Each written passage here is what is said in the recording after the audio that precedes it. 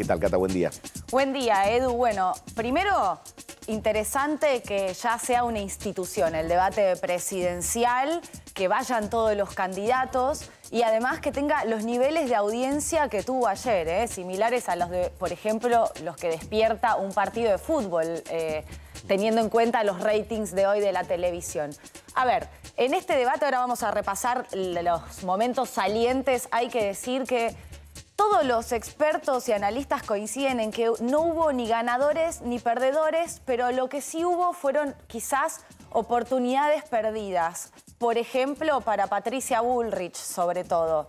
Eh, trató de bajar el tono, de estar moderado. Tanto Massa como Milei buscaron polarizar entre sí y tratar de apuntar a Patricia Bullrich, que se enredaba con sus ideas económicas, ¿no? Cuando la buscaban por el tema de la economía. Miriam Bregman, que se mostró mucho más suelta, también es cierto que tiene menos que perder. Y eh, Schiaretti, que, bueno, después lo vamos a ver en la parte de memes, habló muchísimo sobre la provincia de Córdoba, pero bueno, haciendo foco en un gobierno federal, diferenciando eh, lo que es el AMBA de eh, la provincia de Córdoba. Vamos al primer momento saliente que claramente fue viral, fue Miriam Bregman cuando se refirió a Milei como un gatito mimoso. Milei llega hasta acá hablando contra la casta.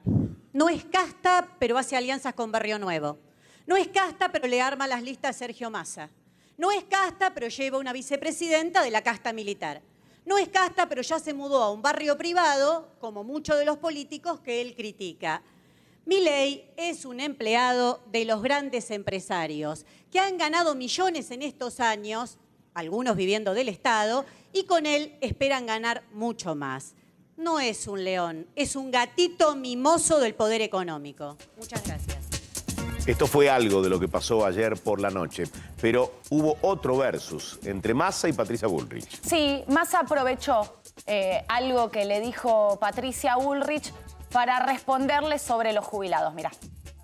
Lo primero que quiero es preguntar si, como hace dos años o como dos años después de que asumieron el gobierno, a mitad de camino lo van a echar a Melcoñán como lo echaron del Banco Nación.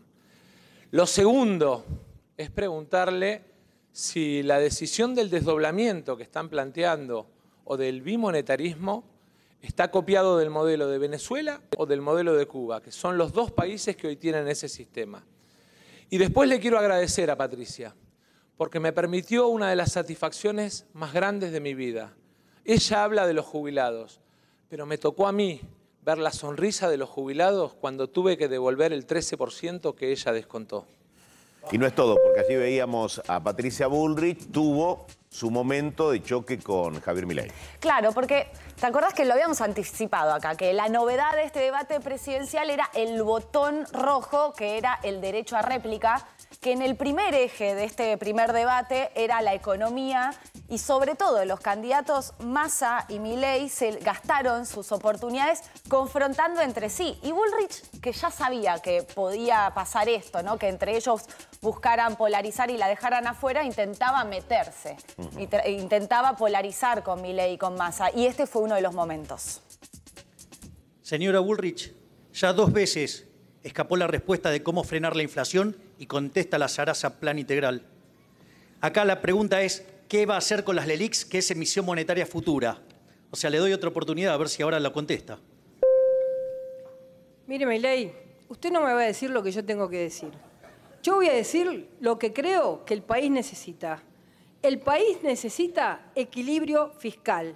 Y hoy Massa está gastando de más, está generando déficit.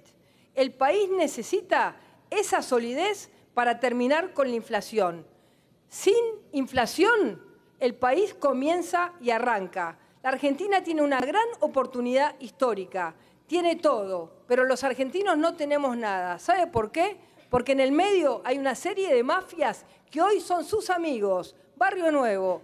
Esa serie de mafias son las que impiden que el país crezca. Y yo tengo la fuerza y la voluntad para sacarlas del medio la interacción más gestual de Javier Milei cuando escuchaba la respuesta de Patricia Bullrich. Sí, esa carita de Milei obviamente era meme. Todo, o sea, los memes después los vamos a ver porque eran eh, muy buenos, la verdad, tenemos buen ingenio. Mm. Eh, claramente un punto flojo de Patricia Bullrich, no solo en el debate, sino en la campaña, ha sido siempre tratar de explicar la economía.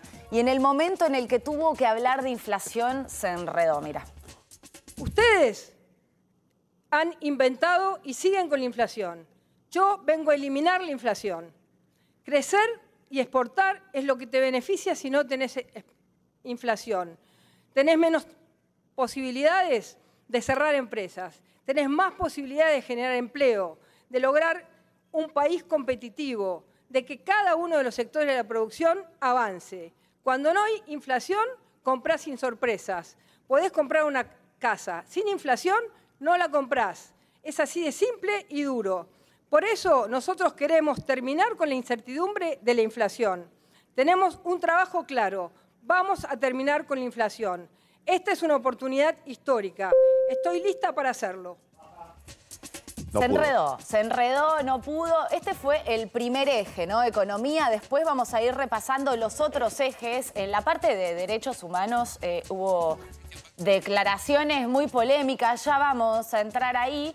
Yo pregunté en los distintos equipos de campaña, bueno, cómo si quedaron conformes o no. Por ejemplo, en el equipo de Massa lo que decían es salir ileso ya es ganar, ¿no? Porque Massa iba al debate había salido el escándalo de Insaurralde, bueno, tenía el tema de la gestión de Alberto Fernández y la economía eh, como punto, digamos, al que lo podían atacar y sin embargo salió bastante ileso. En el equipo de Bullrich admitieron las fallas a la hora de hablar de economía, resaltaron eh, el discurso anti-kirchnerista y en el equipo de Milei festejaron porque Milei la verdad estuvo moderado, no tuvo traspiés, Bregman también, eh, festejaron por la solidez. Ahora, después vamos a hablar del eje de, derechos humanos porque ahí hubo cosas que son de nuevo muy fuertes. Sí, también se habló de educación, por lo menos era uno de los ejes temáticos. Vamos a ir a